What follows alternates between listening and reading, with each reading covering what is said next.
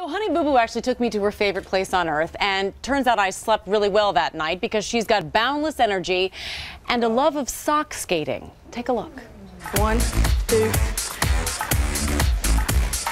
She's the sassy seven-year-old known around the world as Honey Boo Boo.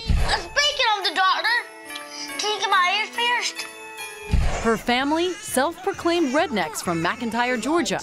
This is what we call a redneck air conditioner. It keeps you cool, keeps you wet. They love food, She wants the three combo in the ribs with the barbecue chicken. And it's potato salad and baked beans. family, and fun. Come on, come on! So it's no wonder the Fun Factory is Honey Boo Boo's favorite place to play. A local arcade where people roller skate. But we did some sock skating. Climbing around in this contraption me. and bonding so much that Alana even gave me her purple bows to wear in my own hair. It was exhausting, even for me with two little girls at home. Hate these She's the typical seven-year-old. I mean, She's not typical. I'm not typical. She's not. Indeed, as we saw, she likes to chant, Honey, boop, boop, honey, boop. burst into song, And waste away the day. Let's one of her just lay here and be lazy, baby. Drive me crazy. and of course, when does your belly decide to talk? Belly decided to talk right now. oh, no, no, no, no, no, no. Belly, no belly talk today. What does, what does the belly say? Can we to do the drums? With a hit show comes fame and money. But what's remarkable is how little, at least in terms of material things, their lives have changed.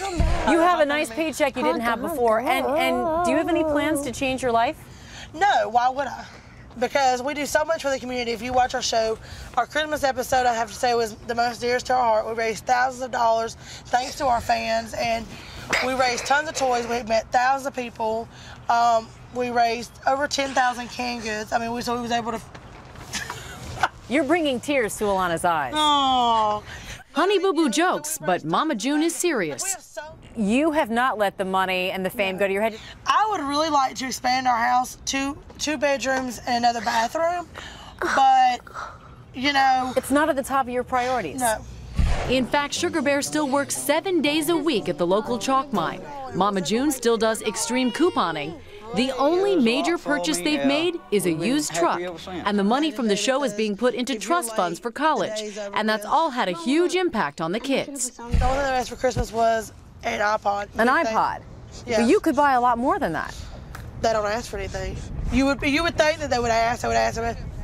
Not my kids. That's amazing. Smart lessons for any parent. Cookies, no.